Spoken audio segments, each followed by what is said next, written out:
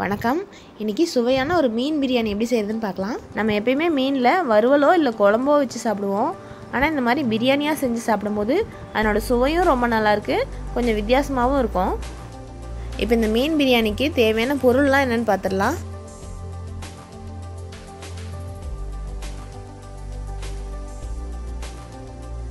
இப்போ மீன் பிரியாணி எப்படி செய்கிறதுங்கிறத பார்க்கலாம். இந்த பிரியாணிக்கு நான் பாஸ்மதி அரிசி எடுத்திருக்கேன். அது ஒரு பதினஞ்சுலேருந்து இருபது நிமிஷம் மட்டும் ஊறணும். அதுக்கு நம்ம அரிசியை தண்ணியில் கொட்டிட்டு இதெல்லாம் வதக்க ஆரம்பித்தோம்னா சரியாக இருக்கும். நான் இந்த மீனை ஏற்கனவே உப்பும் மிளகும் போட்டு கலந்து வச்சுருக்கேன். இப்போ இந்த மீன் துண்டுகளை தோசைக்கல்லில் வச்சு மிதமான சூட்டில் அதாவது ஷாலோ ஃப்ரை பண்ணி எடுத்துக்கலாம். ஏன்னா ஒரு சிலர் இந்த மீன் மேலே இருக்க தோல்லாம் சாப்பிட மாட்டாங்க. அதனால் இந்த மாதிரி ஷாலோ ஃப்ரை பண்ணிட்டோம்னா அந்த தோலை மட்டும் எடுத்துட்டு கடைசியாக நம்ம சாதத்தில் வைக்கிறதுக்கு வசதியாக இருக்கும். அதுக்காக தான் அந்த மீனை ஷாலோ ஃப்ரை பண்ணி வச்சுட்டோம். அது கொஞ்சம் நேரம் ஆறட்டும்.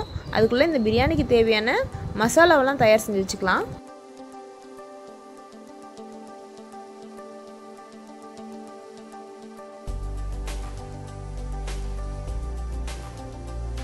மசாலாலாம் தயாராகிடுச்சு இனிமேல் இந்த பிரியாணி செய்ய ஆரம்பிச்சிடலாம்.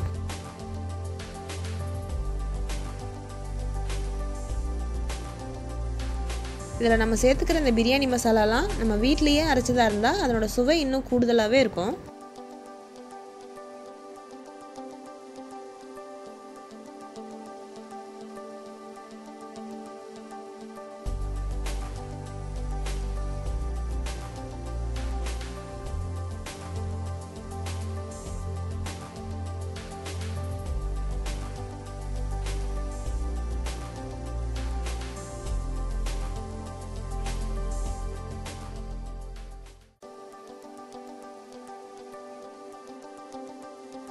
நம்ம ஷேலோ ஃப்ரை பண்ணி வச்சுருந்த மீன் துண்டுலாம் இருக்கு இல்லையா அது மேலே இந்த தோலெல்லாம் நான் எடுத்துட்டேன். மீன் மேலே இருக்க தோல் சாப்பிட்றவங்களா இருந்தால் அப்படியே வச்சிடலாம் சாப்பிடாதவங்க தோலை எடுத்துகிட்டு செய்யலாம். நான் இந்த பிரியாணிக்கு எண்ணெய் வந்து அளவாக ஊற்றிருக்கேன் ஆனால் ஒரு சிலர் நினைக்கலாம் என்னைக்காச்சும் தானே பிரியாணி சாப்பிட்றோம். அதனால் கொஞ்சம் கடையில் சாப்பிட்ற மாதிரி சாப்பிட்டா நல்லாயிருக்கும்னு நினச்சிங்கன்னா இன்னும் கொஞ்சம் கூட கூடுதலாக எண்ணெய் ஊற்றிக்கோங்க ஆனால் அடிக்கடி பிரியாணி செய்கிற மாதிரி இருந்தால் எண்ணெய் கொஞ்சம் அளவாக இந்த மாதிரி குறைச்சலாகவே ஊற்றி செய்யுங்க. எண்ணெயினோட அளவு குறையிறதுனால தான் நமக்கு பிரியாணியோட சுவை மாறாது. சொல்லப்போனால் எண்ணெய் அதிகமாக ஊற்றி செய்யும் போது அந்த பிரியாணியோட சுவையே அடக்கிரும். அதனால் பிரியாணிக்கு எண்ணெய் அளவாகவே ஊற்றி செஞ்சு பாருங்கள் அதனோட சுவை ரொம்பவே அருமையாக வரும். இந்த மசாலா வந்து நல்லா பச்சை வாசனை போகும்படியாக வதங்கணும். அப்போ தான் பிரியாணியோட சுவை நல்லா வரும். அதனால் கொஞ்சமாக தண்ணி ஊற்றிக்கிறதில்ல அப்புறம் பிரியாணி செய்யும்போது ஒரு முக்கியமான விஷயம் என்னென்னா தீயை வந்து கொஞ்சம் மிதமான சூட்லேயே எரிய விடுங்க. ஏன்னா தீயை அதிகமாக எரிஞ்சால் அடி பிடிக்கிறதுக்கான வாய்ப்பு இருக்குது அதனால தான் சொல்கிறேன்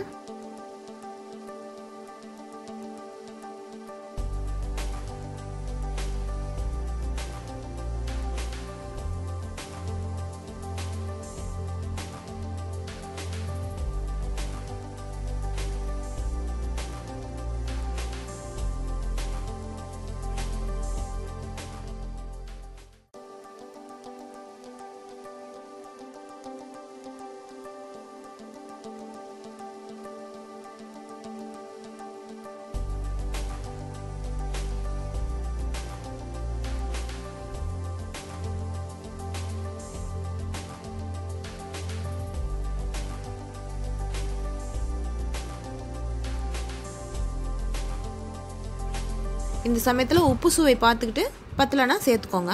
ஏன்னா பிரியாணிக்கு உப்புனுடைய அளவு சரியாக இருந்தால் தான் சாப்பிடும்போது அதனோட ருசி ரொம்ப நல்லாயிருக்கும்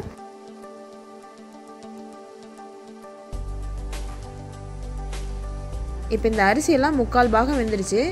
இந்த சமயத்தில் இந்த மீன் துண்டுகள் எடுத்து அது மேலே வச்சிடலாம்.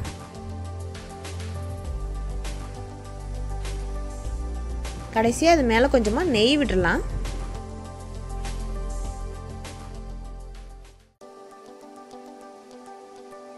இப்போ இந்த குக்கரை மூடி வச்சு மிதமான தீயில் ஒரே ஒரு விசில் வச்சா போதும். விசில் அடங்கி குக்கரை திறந்த உடனே ஒரு அரை எலுமிச்சம்பழ சாறு. இந்த பிரியாணி மேலே புழிஞ்சு விட்டுடலாம். இந்த எலுமிச்சை சாறு விருப்பப்பட்டால் புழிஞ்சு விடலாம். இல்லைன்னா வேண்டாம்.